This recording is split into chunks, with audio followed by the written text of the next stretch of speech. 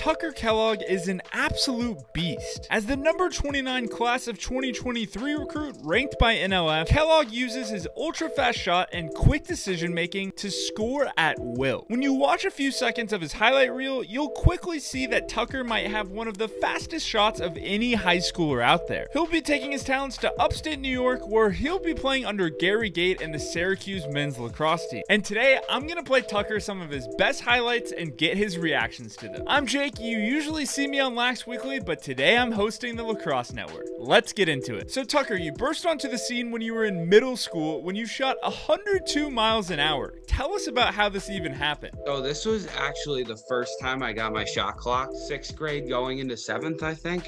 I've never gotten like I never had my shot speed clock like ever. And I like I was the last one to shoot like on the qualifying team. Like I, it hit 102 and the like the guy was like the clock's broken. It has to be broken. And my dad was like you're not shooting again until the finals so I, I didn't shoot again and then I I hit 102 three times in a row after that and they had like three clocks out there as you could see and it, it was crazy. Yeah what happened after the video went viral? This was actually like the craziest experience of my life like I didn't even have a phone at that time like because my parents didn't really give me my first phone until like seventh grade so it was like uh so I had like an iPad in my room and when I got back back, I had like I had like three or four hundred new followers on Instagram, so it was pretty cool. And how fast do you think you can shoot now? I shoot. Uh, I had 114 like twice or twice or I think three times in a row like uh, last month. So. Do you think you'd ever try to go for the world's fastest shot? Uh, I don't know. I mean, I don't really like see that as that's not like my biggest like thought in my head. I'd rather score on a goalie than worry about like the record, I guess. So if the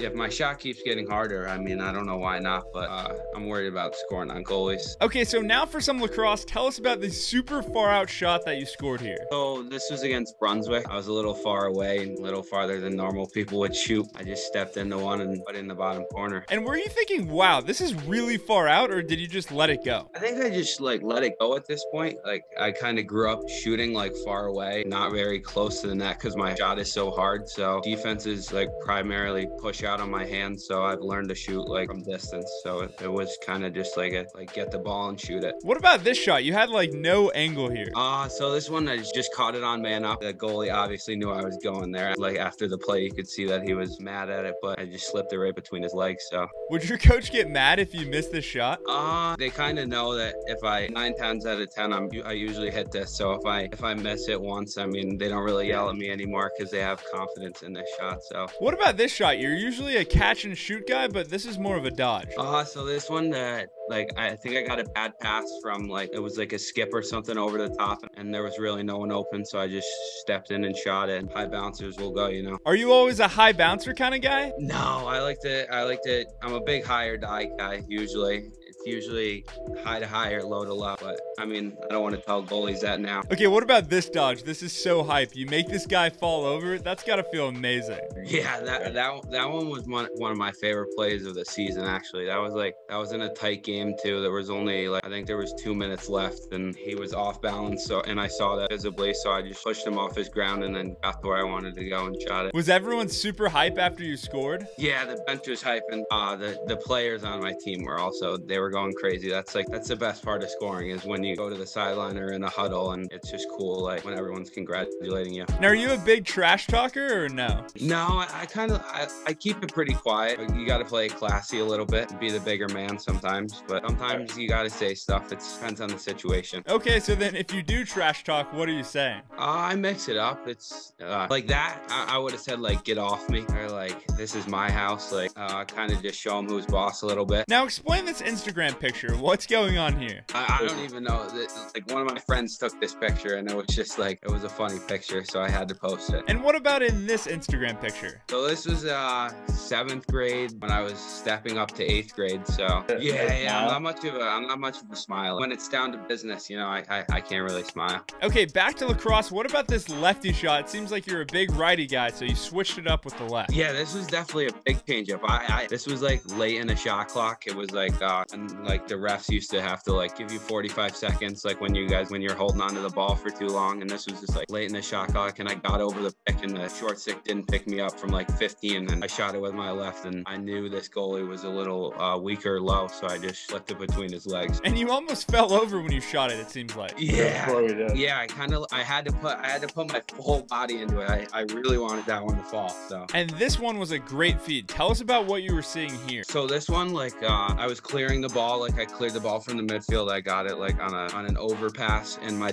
and my two coaches were yelling like yellow, yellow, yellow, like to settle the ball down. And I saw the defenseman's back that the uh, the kid cross crease. I passed it to like where the defenseman was, and he like just cut into that ball and was able to score that. Now, what about this righty rip down the alley? Kind of just like simple, like get it to the low corner because the goalie was tall and had a wide stance, so it was kind of like slip up between his legs because I was pretty far out. So get it there and like hope, um, almost like hope it goes in, but like not really. And when you shoot the ball, are you aiming? Uh, I would say like down the alley and like step downs. I, I don't like really aim. I mean, I, I shoot for a spot more. Like if I'm in tight with a defenseman, I kind of just shoot it like at the net. Okay, tell us about this dodge. It's a really nice little face dodge underneath. I actually knew. So our net on this side of the field's a little like curved, uh, like curved in, and the pipe's a little like this. So I knew when I beat this guy that uh, I had more room than the goalie actually thought because he stepped out on the pipe. So I slipped it right around the pipe on him. So it was kind of it was a little cheat that I knew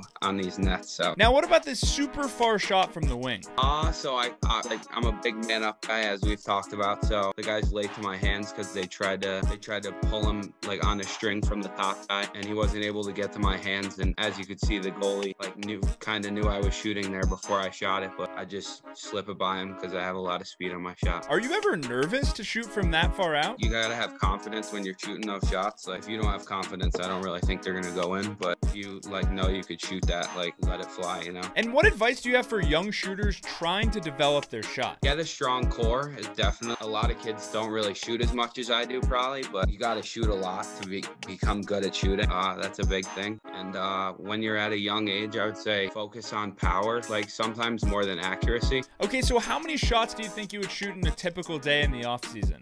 A daily, I probably take like six or seven hundred shots. I shoot a lot, and my my dad comes out and feeds me usually, so I shoot a lot and I work out a lot. So all I really do in the summer. Okay, give us a reaction to this Tucker Dordevich between the legs goal. This has got to make you hyped as a Syracuse commit. This this play was just this like I was just watching this. Like this is uh this is the kind of stuff I do. Like I'll watch this like 25 times and just go outside and try to do it. Like Yeah, are you excited to get to Syracuse? I mean, I don't even know like what to say. Like when I think about it, it's just like crazy that I'm gonna be playing on live TV against against some of these guys and with some of these guys. It's just gonna be crazy. Tell us about this video with Greg from East Coast Dyes. He's using your string job in a shooting contest. It was actually kind of cool because I knew he was stringing the stick. I didn't know he was making this video. I mean, when I got the stick, it didn't not enough whip by like just a little bit. So I think if he had my stick, he would have won that. Yeah. Do you and him talk a bunch? Yeah, yeah. So he we actually DM back and forth because like I've always like I'm a stick rat. Like I have like 60 or 70 sticks in my house, and I just like uh because I test sticks for like companies and stuff. So I always like try to get new things and like learn new techniques because I string too. So wow, that was incredible. If you're a young lacrosse player, go back and rewatch this video 10 times and take as many notes as you can. Tucker gives you so much good advice here, and to me, I thought it was inspirational that one of the country's most elite shooters can shoot 600 shots in a single day in the offseason. I'm excited to watch Tucker for the rest of his high school career and into college, and I cannot wait to see where his game takes him. I'm Jake, hosting the Lacrosse Network today, and I will see you next time.